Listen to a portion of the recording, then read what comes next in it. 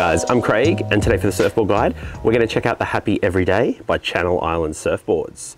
So the Happy Everyday I have is a 510 uh, and I believe the stock dimensions are 510, 19 3 quarters, two and a half and it's 30.9 litres or 30.7 litres. Uh, I went two and 9 sixteenths just to add a little bit more thickness and I think it comes in at just shy of 32 litres. Uh, I'm 5'10 and a half and I'm 92 kilos. Um, so the Happy Everyday, well, is the latest kind of uh, model from that kind of Happy family. It's the newest iteration of the Happy from Channel Islands. You would have seen about two or three years ago, we checked out the Happy in um, PU and Spine-Tek. We're lucky enough to take it to Indonesia, got some waves at like Uluwatu, some local waves, had a lot of fun. Um, since then, I've also had a couple of happy travelers, which I'll talk more about later and also in a separate review. Uh, and when I got this, I also got a two happy because I want to be able to compare the two boards because there's a lot of similarities, but also a lot of differences. So looking over the happy every day, um, what they've done from the two happy is they have flattened out the entry uh, and exit rocker to keep a little bit flatter through the front and back ends. So what that's going to do, it's going to give you like increased uh, paddle power and planing speed. So when you're paddling, it's going to get up, paddle really well, be quick, and then it's going to plane really well across flat sections. Um, the outline stays fairly wide, uh, holds a bit of width through the nose, width throughout the board, and then it feels like there's a really nice hip just here. Um, not sure, but yeah, feels like kind of pulls in, it stays wide to in front of the back fin, or the front fin, uh, and then it comes in and narrows in. But in saying that, the tail block is still pretty wide. So you'd probably be familiar if you've seen us do any Channel Islands review. Love the Dane Reynolds flat two-piece pads. Uh, you can see the width of the pad, it never changes, but there's still a lot of board outside around the edge of the pad and I've spread it out. So you can see that tail block for 510 is quite wide. Uh, it's also quite thick under the back foot. That's gonna give you a whole bunch of foam under your back foot, make it really easy to surf, kind of like a gas pedal just to keep speed in flat and weak conditions and to get down the line or whatever surfing you're doing. Uh, flipping over the Happy Everyday, Channel Islands have kept it really, really simple. There's a single through the front of the board, there's a double through the fins, and it feels like the double goes out through the tail. There's a little bump there on the stringer and behind the back fin, but I think that's just a continuation of the double. I don't think it's a V out through the back. So I've been lucky enough, I've had the Happy Everyday for a few months now. And I've been able to surf in a variety of conditions, kind of from like uh, waist high, little junky sort of stuff, uh, through to some bigger onshore, offshore, some good days, pretty much surfed it in all the conditions I get around. Like we live in Sydney, so you know your metro kind of beach breaks. I've surfed in a whole variety of conditions that you'd normally get in those sort of beaches. Um, that's funny. The happy every day they've really pushed as like a groveler, something you get out when waves are weak and you want to rip it up, but the waves are pretty crappy. And it did that pretty well. But what surprised me when I grabbed the happy every day, I also grabbed the two happy and I'd surf the happy, and I felt like those boards did that pretty well as well. But this does increase the grovelability or grovelability, I don't even know if that's a word.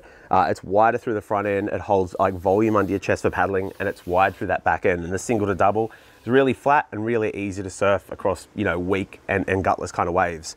What I felt was probably a good point for the happy uh, every day being shortened, being widened, but still having like a really kind of high performance DNA being built around the Happy.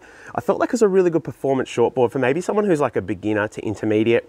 You know, they might be on a you know, like a Ultra Joe, a Hypto Krypto or something like that, and they want to move towards a shortboard, um, I felt like the Happy Every Day is probably like a really good step into like that realm of shortboards. I think some people that maybe, you know, or they're just progressing in surfing, maybe they started surfing later in life, um, they can find shortboards a little bit daunting. I think this is a really good stepping stone shortboard. While you do have this performance uh, pointy nose at the front, which is, you know, pretty daunting for some people. Through the center, through the belly and the back end when you're surfing is all a very forgiving and a very easy to surf surfboard. So I guess that does what they've designed it for, which is to surf in pretty crappy, junky beach break conditions, which it does really, really well.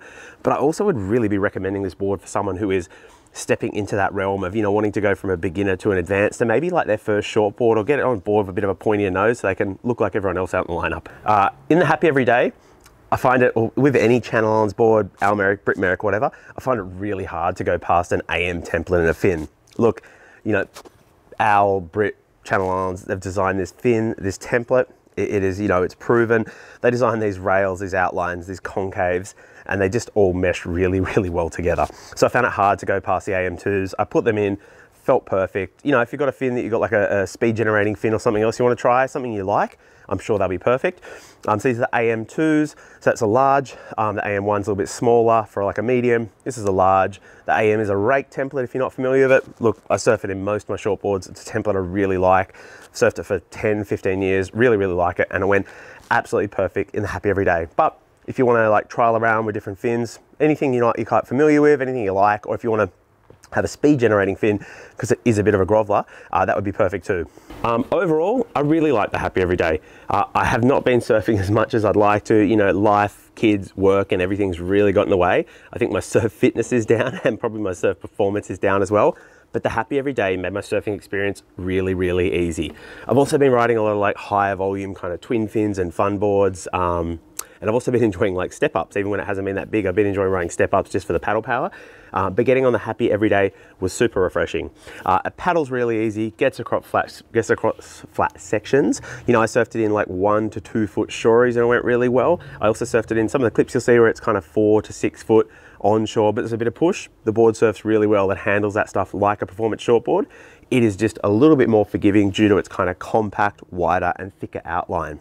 Look, overall, love the Happy Every Day. I'd recommend it to anyone. If you're a, you're a high performance advanced surfer, uh, it's a great groveler. You're gonna get on it. It's gonna make the most of crappy beach breaks, you know, the, the waves when you probably don't normally wanna go out or they don't look that enticing, but it's also gonna hold its own when it gets a little bit bigger and a little bit better. If you're a beginner towards an intermediate, you're looking for a new shortboard, or like I said, you wanna make that move across to a shortboard from something more forgiving, I think the Happy Every Day is a really forgiving uh, and easy kind of landing pad into the world of high performance shortboards.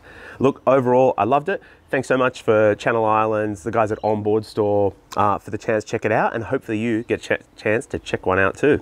Thanks so much for watching.